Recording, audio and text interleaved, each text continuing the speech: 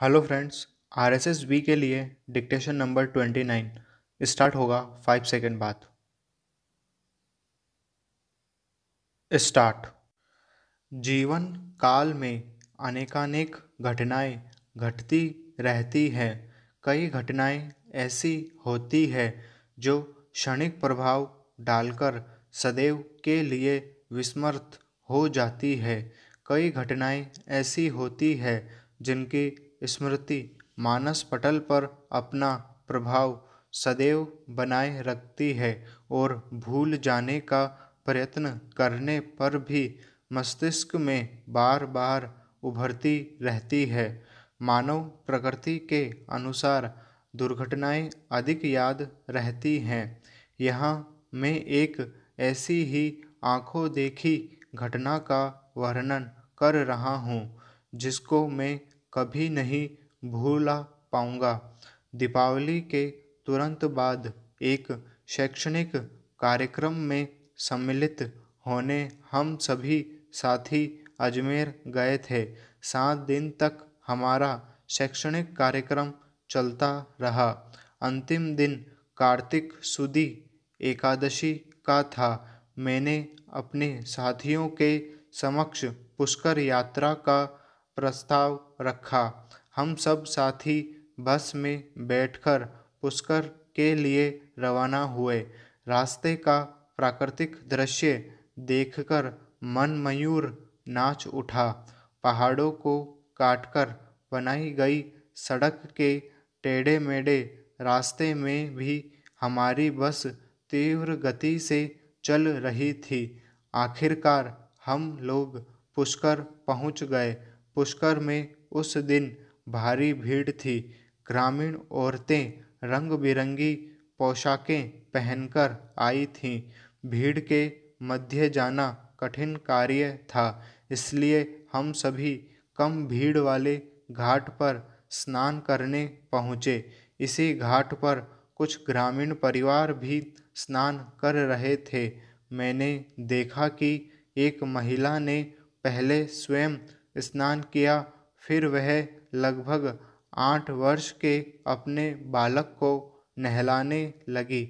बालक की कुचपलता तथा माता के हाथों की शिथिलता से बच्चा हाथ से छूट गया और सरोवर में गहरे पानी की ओर बहकर डूबने लगा।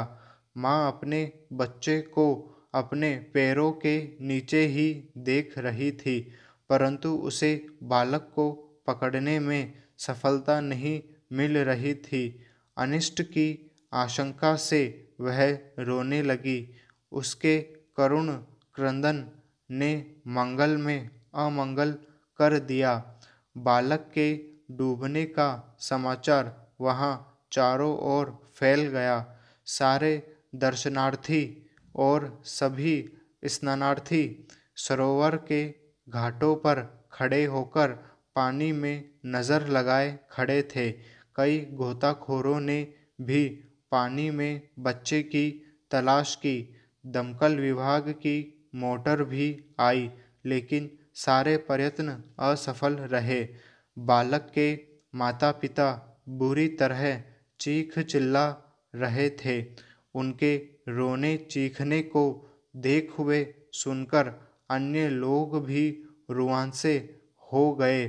इतने में ही सरोवर के लगभग मध्य में कुछ काली सी वस्तु दिखाई दी। फिर बच्चे का हाथ दिखाई दिया और दूसरे क्षण एक मगर बालक को मुँह में दबाए ऊपर आया और एकदम दूर चला गया। उस दृश्य को देखकर माता बेहोश हो गई उस घटना को देखकर हम सभी अत्यधिक व्यथित हो गए और मुँह लटकाए वापस आ गए। मैंने जीवन में अनेक घटनाएँ देखी, परंतु ऐसी करुण घटना केवल एक ही बार देखी। बार बार भुलाने का प्रयत्न करने पर भी वह दृश्य मेरी आँखों के सामने आ जाता है और मैं व्यथित हो जाता हूँ। मेरे जीवन के लिए तो यह चिर स्मरणीय घटना है।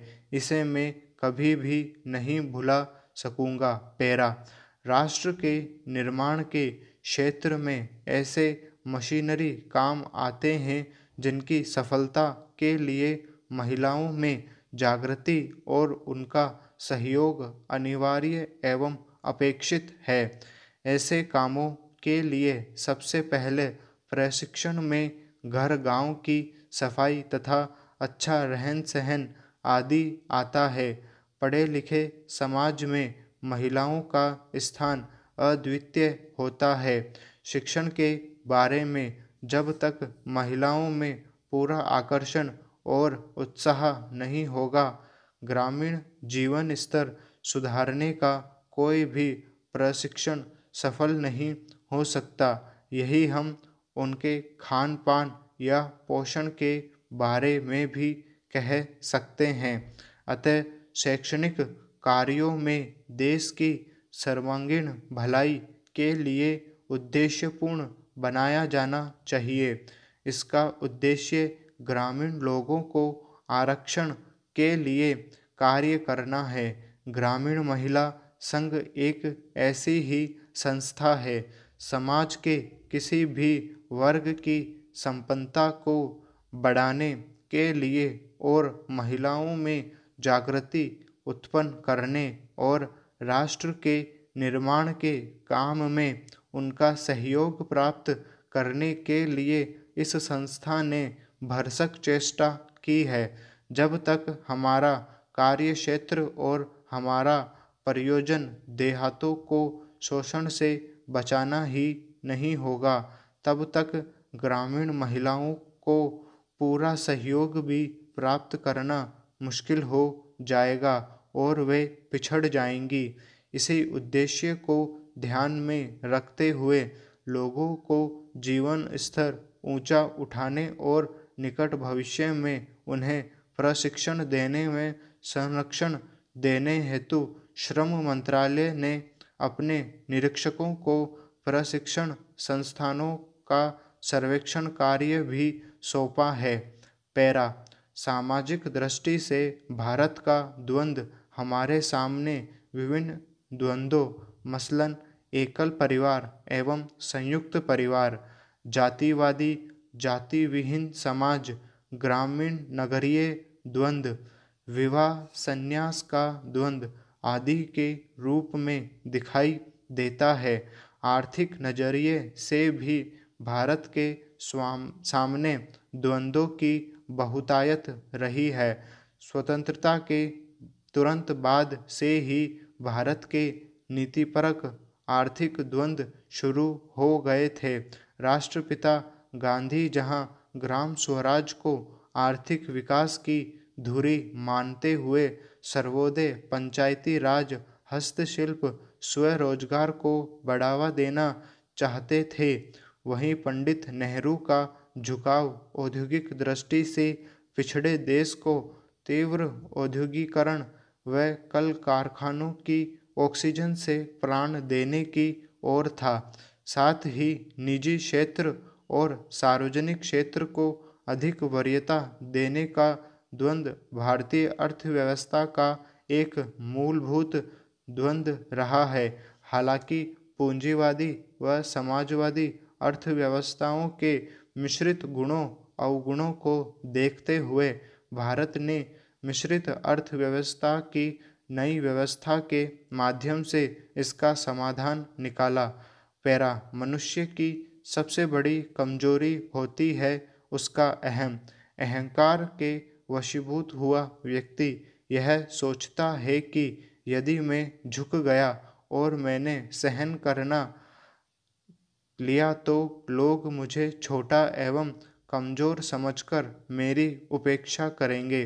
परंतु वास्तविकता ऐसी नहीं है। झुकने वाला व्यक्ति कभी छोटा या कमज़ोर नहीं होता, बल्कि वह उदार और सशक्त होता है। फल से लदी हुई डाल झुकी हुई होती है। साथ ही सहनशील भी, अहंकार और दंभ के कारण ही राजकुमार होते हुए भी दुर्योधन अपनी प्रभुता को स्थापित नहीं कर सका। पद के अनुरूप प्रतिष्ठा अर्जित करना तो दूर वह लोगों की दृष्टि में भी गिर गया था। बड़ा तो वह है जो दूसरे के अधिकार की रक्षा करता है, दूसरे को सम्मान प्रदान करने, अपने सम्मान की अभिवृद्धि करता है। स्टॉप।